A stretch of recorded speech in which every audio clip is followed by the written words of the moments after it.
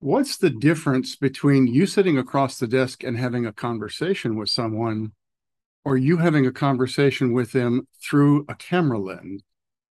And perhaps more importantly, what's the difference between being in a video conference or a Zoom conference with a small group of people and you being on YouTube? Hi, I'm Mark Bullock. I'm the co founder of videosocials.net and phoneblogger.net. And the difference really boils down to experience.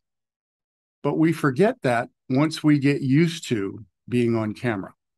So whether we're inviting somebody to come as a guest to video socials or whether we're inviting someone to be on a video podcast or a video interview style podcast, we often don't remember that maybe they don't have the experience and the confidence that comes with that experience when we're inviting them. So they may not even want to admit it even to themselves that so if you're asking somebody again to come as a guest to anything having to do with video if they don't have experience they may not even say that.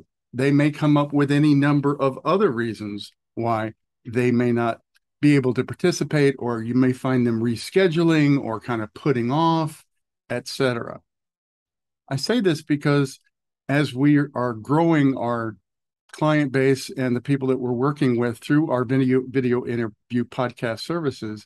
And as i'm seeing so many people say that you know i've invited so many people to video socials and it's just only a few that i've managed to actually come get through the door and, and actually come visit us.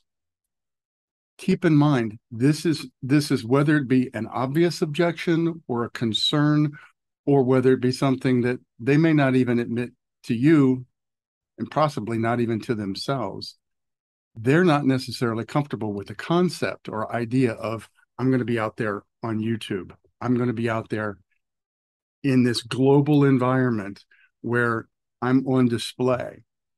So, really, if you can help them understand that it's just a matter of experience, the first time you st- stood up in front of two or three people and introduced yourself, the first time that you went to a networking event and introduced yourself to a stranger, those were all uncomfortable. The first time you got in front of an audience, whether that be audience of five or, or 500, there's nervousness, there's anxiety that comes along with that.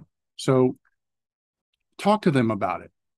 You know, if if this isn't something you've had a lot of experience with, maybe come to video socials as a guest.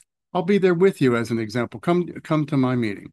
Or if you've invited somebody to come as a guest to your podcast as an example, perhaps again have them come to video socials or at least get on to a video conference with them so that they can get a sense of what it's like to have a conversation with you across the camera.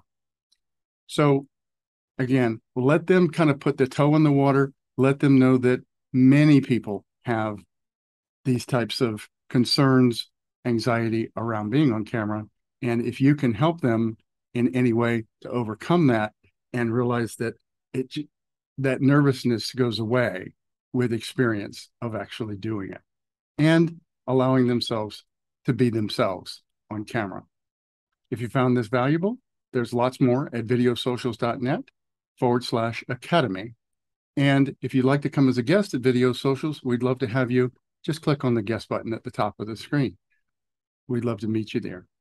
Again, I'm Mark Bullock, the co-founder of videosocials.net and of videointerviewpodcast.com. Have a great day.